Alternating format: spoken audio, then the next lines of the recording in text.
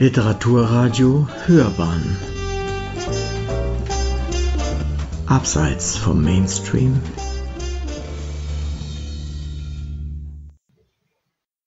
Drinnen 47 Das Herz ist keine Pumpe. Das ist so ein Joseph Beuys-Satz, den ich mit Mitte 20 zum ersten Mal gelesen habe und der mir seither nicht mehr abhanden gekommen ist. Wie viel in diesem Satz steckt. Man könnte ihn sofort widerlegen und sagen, doch ist es. Es ist fast wie eine Maschine, die unseren ganzen Körper antreibt, die uns fortbewegt, die bestimmt, wie gut wir vorankommen, wie schnell und wie leicht oder schwer. Also etwas.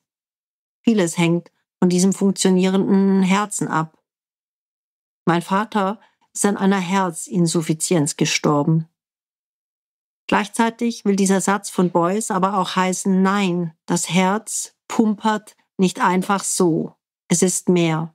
Es ist ein fühlendes Organ. Und tatsächlich ist das ja nachgewiesen in vielen Studien inzwischen, dass die sogenannte Stresskardiomyopathie auch gebrochenes Herzsyndrom genannt, häufig kurz nach einem emotional belastenden, manchmal auch nach emotional sehr erfreulichen Ereignissen vorkommt. Die Herzbeschwerden meines Vaters sind rasant schlimmer geworden, als der Hund starb, der ein bedeutendes Familienmitglied war, weil über ihn viel Kommunikation in der Familie hergestellt wurde. Das ist jetzt ein Jahr her, dass der Hund starb. Ein halbes Jahr später war mein Vater tot. Gestern, als ich in einem sehr netten Café zum Cappuccino saß, habe ich, wie auch in vielen anderen Cafés, den Cappuccino mit einem Milchschaumherz bekommen. Und da dachte ich plötzlich, so ein Herz wird häufig als Kitsch bezeichnet, aber dann hat man es auf dem Kaffee und es freut einen doch. Jemand hat sich Mühe gegeben für mich.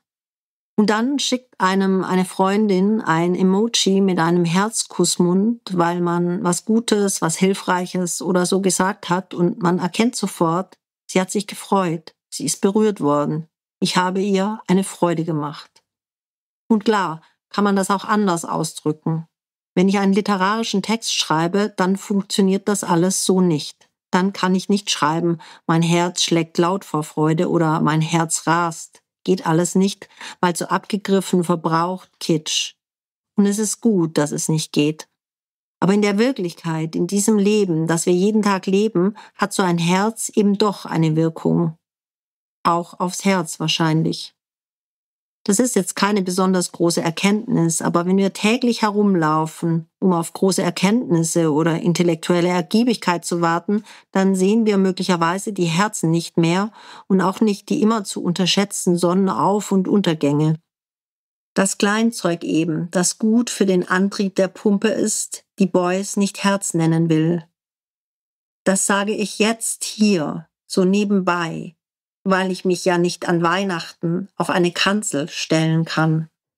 Wenn Sie mehr von Sandra Hoffmann lesen möchten, Ihr aktueller Roman Jetzt bist du da ist im Herbst 2023 bei Piper erschienen.